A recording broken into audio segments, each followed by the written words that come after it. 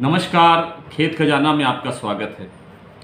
पिछले दो दिन से ग्वार में एक बहुत बड़ा तूफ़ान चल रहा है और सरसों के अंदर हल्की सी मंदी देखने को मिली। इन दोनों पर विस्तृत चर्चा होगी। दो तीन मिनट में बात करेंगे, कुछ मंडियों के भाव आपको जानकारी देंगे। इससे पहले आपसे निवेदन कि इस चैनल को आप सब्सक्राइब कर लीजिए। और बेल आइकॉन की घंटी ज़रूर दबा दीजिए ताकि हमारा हर वीडियो जैसे ही अपलोड हो वो सबसे पहले आपके मोबाइल में पहुँचे। लाइक और शेयर करना ना भूलिए ताकि ज़्यादा से ज़्यादा लोगों तक यह जानकारी पहुँच सके। ग्वार में दो दिन से जो तूफ़ान चल रहा था आज उसमें शाम को हल्का सा अ, हल्की सी रुकावट देखने को मिली है। आज 25 अगस्त है और 25 अगस्त से पहले यानी 24 और 23 अगस्त को। ग्वार में एक इतना भयंकर तूफ़ान देखने को मिला कि एक दिन के अंदर, यानी पिछले 48 घंटे में कहिए, कि सात हज़ार रुपये से अधिक की तेज़ी इसमें देखी गई। यानी जो भाव कल परसों तक, पाँच हज़ार छः हज़ार के घरों में घूम रहे थे, वो बारह और तेरह हज़ार के आसपास पहुँच गए कुछ मंडियों में। कुछ मंडियों में भाव थे भी और कुछ मंडियों की अफवाहें भी उड़ी। सच्चाई कुछ और थी। हालाँकि भाव उसके नज़दीक थे, लेकिन फिर भी कुछ ज़्यादा बढ़ा चढ़ा करके कुछ लोगों ने पेश किए। ऐसा नहीं करना चाहिए। गुमराह करने का जो है, वो काम मंडी के भाव के बारे में विशेष रूप से नहीं होना चाहिए। वास्तव में मंडी में इसके ग्वार के भाव क्यों बढ़ रहे हैं? इसकी कोई आधिकारिक पुष्टि नहीं है। सिर्फ़ एक कारण दिखाई देता है कि ग्वार की जो बिजाई है, वो बहुत ज़्यादा प्रभावित हो रही है। बरसात की कमी की वजह से और जो उसके बाद जो थोड़ी बहुत बिजाई हो पाई है उसमें भी सिंचाई पानी का अभाव है मानसून का अभाव रहा है इसलिए उत्पादन में भी और ज़्यादा गिरावट आने की संभावना बन रही है। इसलिए कुछ लोगों को ऐसे लगने लगा होगा कि शायद तो इस बार भी ग्वार 2011 की तरह से 30,000 के भाव जाएँगे और शायद ये सत्य नहीं है। उस उस लेवल का भाव शायद नहीं आ सकता। कोई उम्मीद नहीं है। अब मंडियों में एक उल्टी सी बात देखी गई, विपरीत बात देखी गई, वो ये देखी गई कि पहले किसान अपना जीन्स, अपना भाव, अपनी फ़सल लेकर के मंडी आता था और व्यापारी उसे खरीदते थे। लेकिन अब गवार के मामले में क्या हो रहा है कि व्यापारी अपने गोडाउन से माल मंडी में ला रहे हैं और किसान उसे भर के ट्राली में और कैंटर में अपने घर में ले जा रहा है। यानी किसान खरीद रहा है, व्यापारी बेच रहा है। तो इस कारण से ये तेज़ी का माहौल सा बन रहा है, जो लगता नहीं है कि बहुत दूर जाएगा, बहुत ज़्यादा जाएगा।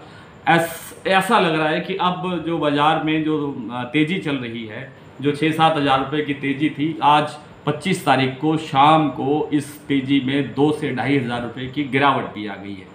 जो भाव सुबह ग्यारह हज़ार, बारह हज़ार के आसपास थे, वो अब आठ हज़ार, नौ हज़ार के घरों में सुने जा रहे हैं, देखे जा रहे हैं।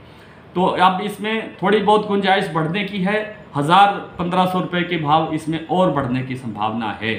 इतनी गुंजाइश दिखती है। इससे ज़्यादा कि अभी लगता नहीं है कि ये कोई बहुत ज़्यादा आगे जाएगा। हालाँकि जो लोग इंसीडेक्स एन वगैरह में प्लेटफार्म पे काम करते हैं, वायदा बाज़ार में काम करते हैं, उन लोगों का, उन लोगों को ऐसा उम्मीद लग रही है कि शायद ये कुछ और आगे जाएगा। हो सकता है जाए लेकिन जो हमारा सोचना है, हमारा जो कल्पना है, हमारी जो एक अनुमान है, वो यही है कि अभी ये हज़ार पंद्रह सौ की गुंजाइश इसमें अभी और है।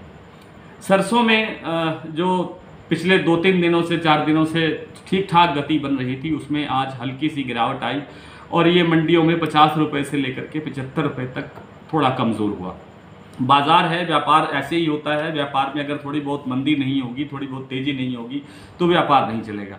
लेकिन अल्टीमेट जो रुख है सरसों का, वो अभी भी तेज़ी का बना हुआ है। अभी इस सप्ताह के तीन दिन बाकी हैं और तीन दिन के अंदर लगता है कि सरसों में थोड़ी बहुत और गुंजाइश निकलेगी, यानी और आगे बढ़ेगा। तेज़ी की तरफ़ बढ़ना चाहिए, यही उम्मीद की जानी चाहिए। आइए कुछ भाव देख लेते हैं मंडियों के। सरसों के भाव आज भरतपुर में रहा है सात हज़ार छः सौ बीस रुपये चरखी दादरी में सात हज़ार नौ सौ रुपये मील का रेट है सिरसा में भाव रहा है सात हज़ार चार सौ अस्सी रुपये कोटा में सात हज़ार दो सौ अठारह रुपये हापुड़ में सात हज़ार सात सौ रुपये बारह मंडी में सात हज़ार तीन सौ रुपये खाजूवाला में सात हज़ार दो सौ अस्सी रुपये संगरिया में सात हज़ार दो सौ बाईस रुपये भूना में सात हज़ार पचास रुपये राजगढ़ में सात हज़ार एक सौ रुपये अबोहर मंडी में सात हज़ार दो सौ चालीस रुपये रामगंज मंडी में सात हज़ार ती, सात हज़ार चार सौ तीस रुपये आगरा में आठ हज़ार छः सौ रुपये ये सलोनी के भाव हैं और सलोनी के भाव जहाँ जहाँ भी सलोनी के स्टेशन हैं, उनमें एक ही भाव है, आठ हज़ार छः सौ रुपये टोंक मंडी में आठ हज़ार पचपन रुपये हिसार में इकहत्तर सौ रुपये बूंदी में सात हज़ार रुपये, अलवर में सतहत्तर सौ रुपये, गंगानगर में चौहत्तर सौ रुपये के भाव सरसों के रहे हैं। आज ग्वार के भाव भी देखते हैं। ग्वार सिरसा में आज बिका है ग्यारह हज़ार सात सौ पचास रुपये, आदमपुर में बारह हज़ार पाँच सौ पचास रुपये, खाजूवाला में आठ हज़ार चार सौ तीस रुपये, राजगढ़ में नौ हज़ार रुपये, अबोहर में नौ हज़ार छः सौ रुपये सिवानी मंडी में दस हज़ार रुपये, रामगंज मंडी कोटा में बारह हज़ार एक सौ सैंतीस रुपये और जोधपुर में बारह हज़ार रुपये, बीकानेर में नौ हज़ार आठ सौ रुपये, हनुमानगढ़ में तेरह हज़ार सात सौ रुपये और पदमपुर में नौ हज़ार तीन सौ रुपये के भाव रहे हैं। लेकिन शाम को इन भाव में करीब करीब दो सौ रुपये से लेकर के पाँच सौ रुपये तक की गिरावट, सात सौ रुपये तक की गिरावट भी देखी गई है। अब अगला वीडियो और अगले भाव, नेक्स्ट वीडियो में। नमस्कार।